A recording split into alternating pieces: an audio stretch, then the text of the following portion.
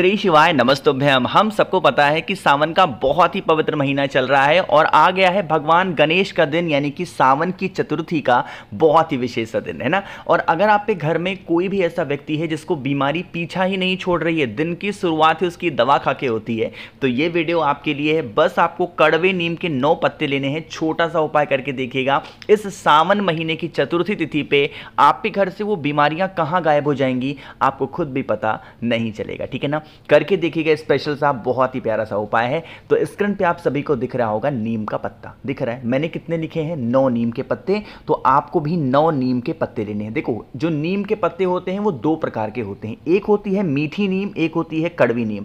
जब भी हमें कोई उपाय करना होता है, दवा के औषधि के तौर पर लेना होता है तो हमेशा कड़वी नीम लेना चाहिए। इसलिए आपको नौ कड़वी नीम के पत्ते लेने ठीक है ना?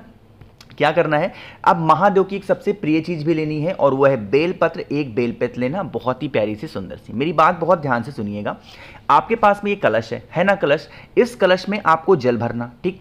और इसी जल के अंदर अगर आपके पास में गंगा जल हो, तब तो डाल देना, और गंगा जल नहीं है तो कुछ भी डालने की ज़रूरत नहीं है, ठीक है ना? इतना काम हो गया। इतना करने के बाद में मैंने आपको दिखाया है नौ कड़वे नीम के पत्ते, उन नौ कड़वे नीम के पत्ते को डाल देना। जो एक बेल पत्र है, उसको मत डालना, उसको अभी अपने पास में रखना, ठीक? जो व्यक्ति आपके घर में बीमार पड़ा हुआ है, इस सावन महीने की चतुर्थी तिथि पे, शाम के टाइम पे प्रदोष काल में, उसके कमरे में इस कलश को ढक करके रख देना, ठीक है ना? किसी प्लेट, किसी कटोरी से रखना। जिस प्लेट, जिस कटोरी से ढकोगे, इसी प्लेट के ऊपर जो एक बेलपत्र मैंने आपको दिखाया था, उस बेलपत्र को रख देना, है ना? फिर वहाँ से आप हट जाना। अपना आराम से जाना, खाना, पीना, सो जाना। अगले दिन फिर आप सुबह सो के उठेंगे पंचमी तिथि पे, ठीक है ना? सो करके जब उठना, फिर सबसे पहला काम होगा स्नान वगैरह करके स्वच्छ होके आना, फिर आप इस कलश को उठाना। इसके ऊपर की जो एक बेलपत्र होगी, इस बेलपत्र को भी उसी कलश के अंदर, जल के अंदर डाल देना। जो व्यक्ति घर में आपके बीमार पड़ा है, उसके हाथों से एक बार इस कलश का स्पर्श कराना, टच कराना। पूरे घर में घूमने के बाद में आपको फिर उसी नीम पेड़ के नीचे जाना होगा जहाँ से नीम का पत्ता लाया। अब वहाँ नहीं जा सकते हो, मान लो आप खरीद के लाए हो तो जो भी घर के आसपास में नीम का पत्ता, पेड़ हो, उस पेड़ के नीचे जा करके आप पूरा का पूरा जल समर्पित कर देना। जिस व्यक्ति को बीमारी है, उस व्यक्ति का नाम और गोत्र बोल के जो भी व्यक्ति सावन महीने की चतुर्थी तिथि पे या फिर नवरात्र की चतुर्थी तिथि पे, साल में सिर्फ़ दो बार, नवरात्र की चतुर्थी या फिर सावन की चतुर्थी तिथि पे इस उपाय को कर लेता है, उनके घर में कभी कोई बीमारी प्रवेश नहीं करती है, हमेशा उनका पूरा परिवार स्वच्छ और निरोगी रहता है। ठीक है ना? करके देखिएगा, बहुत स्पेशल सा और प्यारा सा ये उपाय था, आसान सा भी था, कुछ करना ही नहीं आपको। तो यहाँ पे हम लोगों ने पहले उपाय की बात कर ली है। आगे बढ़ते हैं, बस वीडियो के हम लोग अपने दूसरे उपाय की तरफ़, जो कि आपको करना है शमी के पत्ते के साथ में। कहोगे भैया इस शमी के पत्ते से हम उपाय करेंगे तो हमें फ़ायदा क्या होगा? यह जो उपाय आपको बताने जा रहा हूँ, ये चतुर्थी तिथि का बहुत ही फ़ेमस बहुत प्रसिद्ध उपाय है, जिसकी बात हमेशा पूज्य गुरु जी अपनी कथा में कहते रहते हैं। यह उपाय होगा धन संपदा का। अगर आपके घर में माँ लक्ष्मी का वास नहीं है, धन को लेकर परेशान हो, संपदा ही घर में नहीं टिकती है तो आप इस उपाय को करेंगे, ठीक है ना? उसके लिए आपको ज़रूरत होगी सिर्फ़ और सिर्फ़ एक शमी के पत्ते की। इससे ज़्यादा मत लेना, ठीक है? सिर्फ़ एक शमी का पत्ता लेना। समी पत्र के साथ में एक आपको दीपक लेना है और वो दिया मिट्टी का होगा, है ना? अब मिट्टी का दिया लेंगे, लेकिन है तो ये उपाय धन संपदा का। मैंने आपको बता रखा है, धन संपदा का जब उपाय करते हैं तो उसमें दीपक लंबी बत्ती का लगाते हैं, लेकिन इस उपाय में थोड़ा सा परिवर्तन है। यह उपाय हम भगवान गणेश के लिए लगा रहे हैं, और देवता के लिए लगाने पर हमें कौन सी बत्ती लगानी होती है? गोल बत्ती का दिया। कई बार बताया आपको तो आपको गोल बत्ती लेना होगा और इसके अंदर डालना होगा घी, है ना? डाल दिया। फिर आप उस एक समी के पत्ते को घी को लेके पहुँचेंगे कहाँ पे? महादेव के शिवलिंग के पास में, चाहे अपने घर पे कर लो या फिर मंदिर में कहीं पे भी करो। आप पहले महादेव के मंदिर के अंदर जाना, जो भी पूजन पाठ करना हो, जो भी शिवलिंग के ऊपर समर्पित करना हो, जल वगैरह, धतूरा, जो कुछ भी आप लेकर के गए हो, सब समर्पित करना। समर्पित करने के बाद जब आप अपने पूजन करके बाहर निकलोगे तो महादेव की चौखट नज़र आएगी। अरे, आएगी कि नहीं आएगी?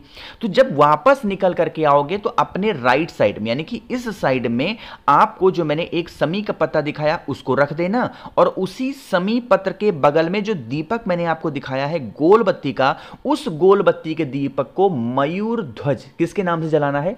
मयूर ध्वज के नाम से अगर आपने जला दिया चतुर्थी तिथि पे तो आपके घर में कभी भी धन संपदा की कमी नहीं हो सकती। हमेशा माँ लक्ष्मी का वास रिद्धि सिद्धि का वास आपके घर में हमेशा बना हुआ होगा, है ना? भगवान गणेश को हम लोग विघ्नहर्ता बोलते हैं, हमारे जीवन के, हमारे लाइफ के। जो भी विघ्न होते हैं, भगवान गणेश दूर करते हैं तो आपको इस उपाय को करना ही करना, ठीक है ना? तो दो उपाय की आपको बात समझ में आ गई होगी। आगे बढ़ते हैं, अब इस वीडियो के हम लोग अपने तीसरे उपाय की तरफ़, और ये जो तीसरा उपाय है, वो आपको करना होगा इत्र के साथ में, ठीक है ना? देखो, अब इस इत्र के उपाय से क्या होता है, जब भी मैं कोई भी सुगंधित चीज़ आपको दिखाऊँ, जैसे केसर दिखा दूँ, इत्र दिखा दूँ तो ये स्पेशली पता है किसके लिए होता है? क्रोध, लड़ाई, झगड़े को खत्म करने के लिए। आज के टाइम पे तो हर कोई इंसान कभी ना घर में झुकने को तैयार नहीं होता। वो कुछ किसी ने कुछ बोल दिया तो लड़ जाएगा, झगड़ जाएगा। तो घर में अगर लड़ाई झगड़े का माहौल होता है, आपको लेना होगा इस तरीके से इत्र, है ना? पाँच दस रुपए में मार्केट में मिल ही जाएगा तो आपको इत्र लेना। इत्र के साथ में फिर से हमें ज़रूरत पड़ेगी एक शमी के पत्ते की। एक शमी का पत्ता ही एक ऐसा पत्ता होता है जो सभी देवी देवताओं को तीन के तीन दिन चढ़ सकता है, इसमें कोई रोक टोक नहीं है तो आपको एक शमी का पत्ता लेना। फिर एक तांबे का लोटा लीजिएगा, उसके अंदर जल भरना है। अब जो मैंने आपको इत्र दिखाया ना, उस इत्र की कुछ बूंद, पाँच सात दस बूंद, जो भी है, आपको इस कलश के अंदर डाल देना, ठीक है ना? इत्र डालने के बाद में जो आपके पास में मैंने शमी का पत्ता दिखाया, उस शमी के पत्ते को भी डाल देना, है ना?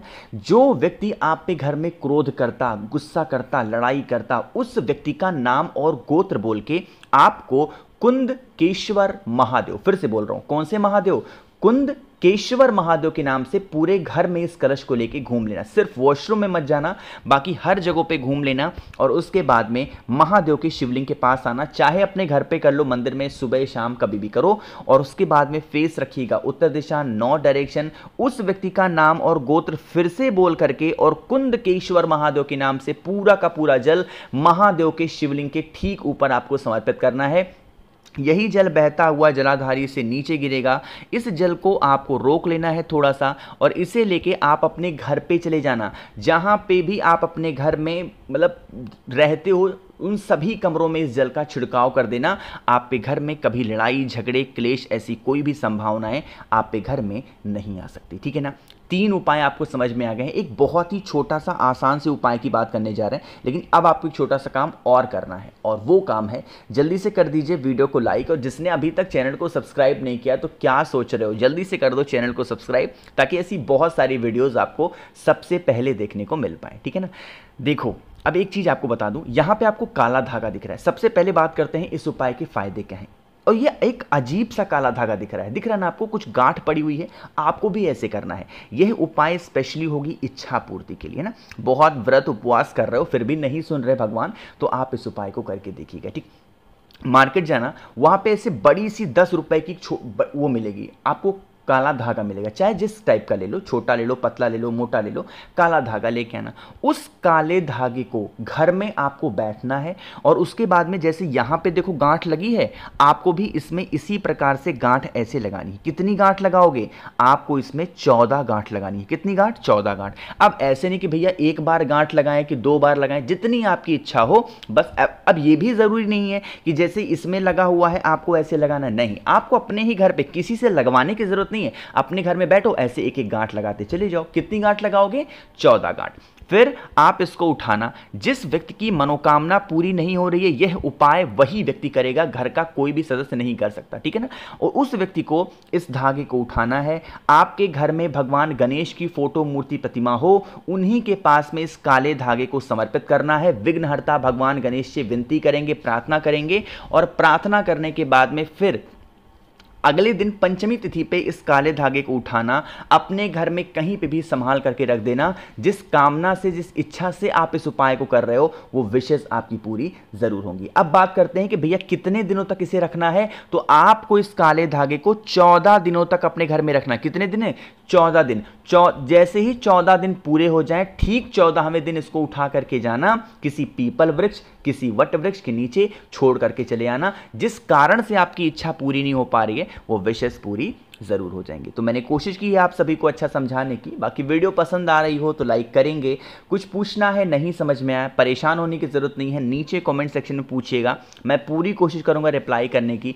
मेरे जितने भी भाई बहन आवाज़ मेरी पहली बार सुन रहे हैं, चैनल को सब्सक्राइब करिएगा और अगर आपको मुझसे बातें करनी है तो आप हमें इंस्टाग्राम पर फॉलो कर सकते हैं। उसके लिए आपको सर्च करना है the natural planet one Shri शिवाय नमस्तुभ्यम।